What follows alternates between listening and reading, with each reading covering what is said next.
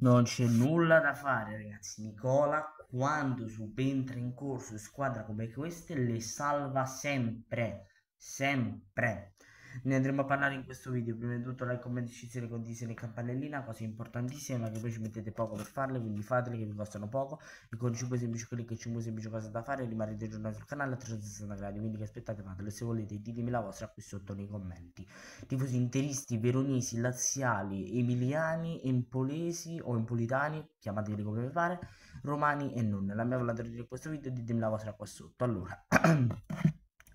Verona-Inter, partiamo da Verona-Inter 2-2, gara che contava, contava, poco per entrambe perché il Verona era già salvo, l'Inter aveva praticamente ha già vinto lo scudetto e già, ha già alzato la coppa e ne esce fuori una partita bella, una partita vivace, una partita intensa, azioni da una parte e dall'altra, la sblocca Arnautovic al decimo che oggi è stato il principale protagonista, con una difesa del Verona da rivedere che gli regala il pallone, lui tira e fa 1-0. Però il Verona con due occasioni nitide, poi ne avevamo avuto anche un'altra per, per il 3-1 che ha sprecato, Noslin, servito da un cioccolatino di Slusov la mette dentro, Suslov, imbeccato da Noslin sempre da un cioccolatino perfetto, 2-1. E al 45 più 1 Turam serve Arnaudovic, tiro da furiare meraviglioso, 2-2. Nel secondo tempo partita simile al primo, vivace, azioni da una parte e dall'altra, ma si conclude così.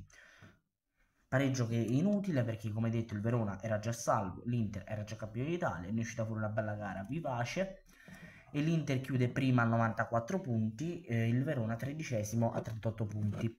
Per quanto riguarda invece Lazio Sassuolo 1-1, anche qui gara inutile, gara inutile perché la Lazio era già praticamente qualificata per una competizione europea, però bisogna stabilire ancora quale. Bisogna stabilire ancora quale perché se la Fiorentina dovesse vincere la conference, tre ne vanno in Europa League, ovvero sesta, settima e ottava. Se la Fiorentina non dovesse vincere la conference, sesta e settima vanno in Europa League, l'ottava gioca la conference, ovvero la Viola, e la nonna non va in Conference League, mentre nel caso la Viola vincesse la Conference League, tre vanno in Europa League e la, la nonna va in Conference League. Ecco, un po' stabilito il tutto anche qui.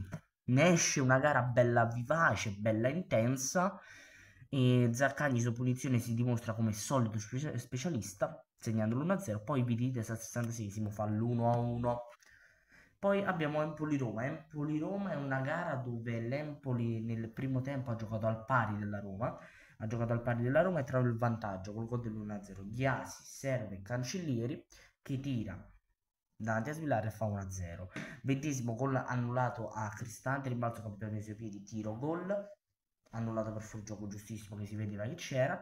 Poi 45 più 1 Awar passaggio in Angeligno tiro gol un guai all'Empoli nel secondo tempo l'Empoli domina domina domina che la Roma era già in vacanza ormai ragazzi ha detto ha salvato tutto era già in vacanza.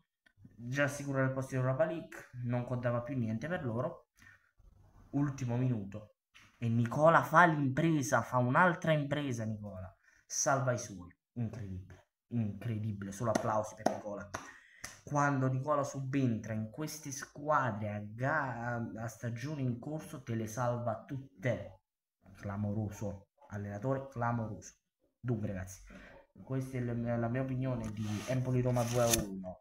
Uh, Lazio su 1-1, Verona Inter 2-2. Se volete ditemi la vostra sotto nei commenti, lasciate like, commenti, iscrivetevi, e campanellina cose importantissime ma che voi ci mettete poco per farle quindi fatele che vi costano poco. Con 5 semplici clic e 5 semplici cose da fare rimanete aggiornati sul canale 360 gradi quindi aspettate fatelo.